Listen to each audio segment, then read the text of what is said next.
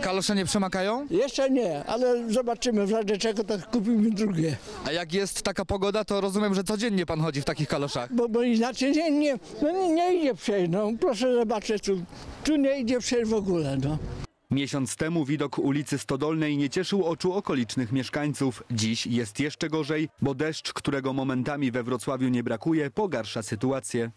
Samochody się psują. Nawet przed świętami też młodsza córka jadąc tutaj do mnie też uszkodziła sobie tam coś w podwoziu. Tragicznie, w tej chwili tragicznie boleje. Już mamy garaże pozalewane, posesje, przejść nie można, jest strasznie. Takiej ulicy chyba nigdzie nie ma w Polsce, to co my mamy w tej chwili. Już jest ciężko wjechać nam, mieszkańcom, na własne posesje. A przejść się chyba też nie da. No, przejść to slalomem. Niezawodne kalosze aktualnie wystarczają, ale mieszkańcy martwią się o to, co może stać się, kiedy na Stodolnej pojawi się śnieg. mnóstwo ludzi, którzy do szkoły tutaj chodzą, bo tu jest droga do szkoły, y, naprawdę naokoło y, y, sobie przechodzą, bo tędy się nie da. Pani też naokoło?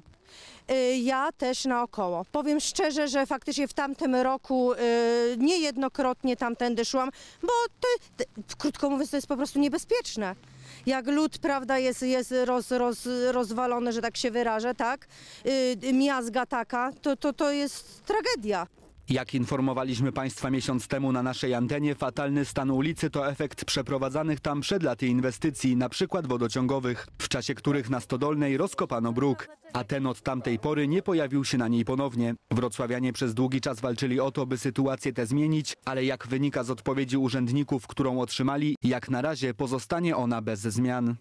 Rada Osiedla wielokrotnie apelowała e, o remont ulicy Stodolnej. E, Aktualną odpowiedź, jaką mamy z Urzędu Miasta, mm, e, mówi o tym, że droga nie zostanie wyremontowana z funduszy Urzędu Miejskiego z uwagi na fakt taki, że nie jest to planowane w, w kolejnym roku budżetowym. Czyli Urząd Miasta nie dysponuje funduszami, aby tą drogę wyremontować. Pomimo odpowiedzi, która rozczarowała mieszkańców, ci nadal chcą walczyć o poprawę stanu ulicy Stodolnej i proszą w tej sprawie o pomoc. Chociaż niech zasypią te doły nam. Tak być już nie może dalej. My już do domów nie możemy wejść. Strasznie jest. Szansą na ratunek dla drogi i mieszkańców mogłoby być złożenie wniosku do urzędu w ramach tzw. inicjatyw lokalnych, ale to rozwiązanie wymaga od mieszkańców pokrycia części kosztów związanych z ewentualnymi pracami, a na to ich nie stać. Piotr Błachut, Echo 24.